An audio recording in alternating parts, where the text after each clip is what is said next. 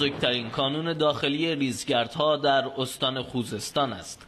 منطقه‌ای به وسعت 112 هزار هکتار در جنوب شرق اهواز که خاک آن چند سالی می شود هوای خوزستان را از حالت عادی خارج کرده.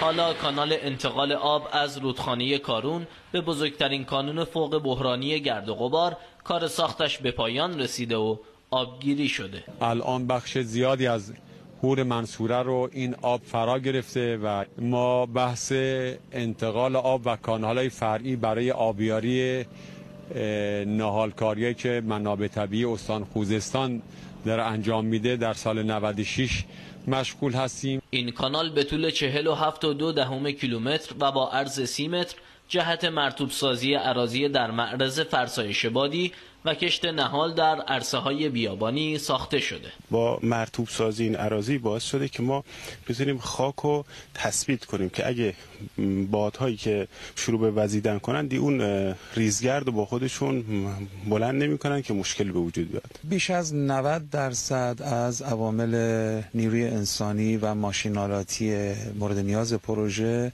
از نیروهای بومی و محلی استفاده شده. برای ساخت این کانال 120 میلیارد تومان هزینه شده.